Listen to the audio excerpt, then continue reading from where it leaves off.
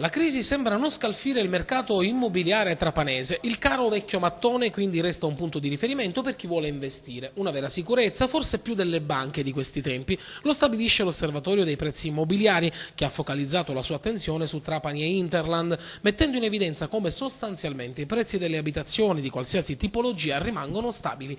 Una casa in condominio in centro storico vale attorno a 1000 euro metro quadrato e particolare mercato ce l'hanno le abitazioni più piccole con appena due o tre vani. Questo perché, secondo l'osservatorio, l'idea è quella di investire per trasformare tendenzialmente queste case in bed and breakfast oppure per regalarle ai figli.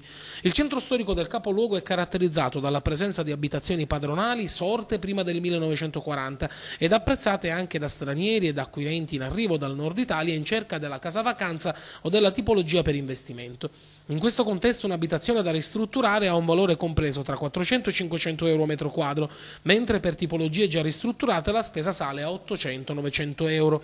Per acquistare invece un appartamento ristrutturato in palazzine ante 67 bisogna mettere in conto una spesa di 900.000 euro al metro quadrato, mentre per tipologie degli anni 90 situate in un buon contesto abitativo la spesa media si attesta su 1.000-1.100 euro. Le aree commerciali, quindi parliamo di zona archi, l'usato in buono stato di manutenzione si vende a 750-850 euro al metro quadrato mentre per il nuovo si spendono mediamente tra i 1000 e i 1100 euro. Buone occasioni si presentano fuori dal centro, specie nelle borgate che si sviluppano a ridosso della zona costiera, come ad esempio Bonagia, Pizzolungo e Cornino. In queste zone si possono acquistare ville e villette degli anni 80 oppure di recente costruzione. A Bonagia una villetta da ristrutturare costa tra 500 e 700 euro al metro quadro, una villetta ristrutturata vale tra 1000 e 1100 euro, mentre nelle aree di Pizzolungo e Cornino più decentrate le quotazioni scendono del 10 10-15%.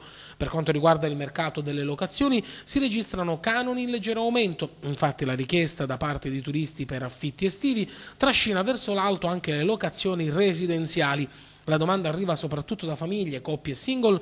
Il canone di un monolocale arredato è di 200-250 euro al mese, mentre quello di bilocali e trilocali arredati oscilla tra 300 e 450 euro al mese.